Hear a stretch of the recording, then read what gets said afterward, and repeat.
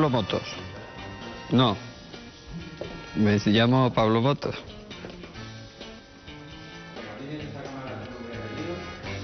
Me llamo Pablo Motos. Y soy un showman.